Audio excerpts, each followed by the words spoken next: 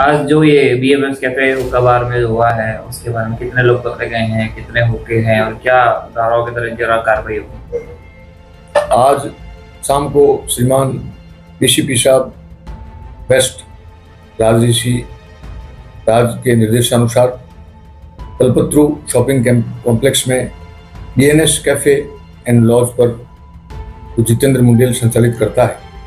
उस कैफ़े पर कार्रवाई की गई, जिसमें सात व्यक्तियों को गिरफ़्तार किया गया है और छह हुक्का और अन्य फ्लेवर्स बरामद किए गए हैं। इन सभी के खिलाफ उन्नीस बटा ग्यारह धूम्रपान अधिनियम के तहत मुकदमा दर्ज किया जाएगा एवं सख्त कार्रवाई की जाएगी। Available on Google play and app store downloaded now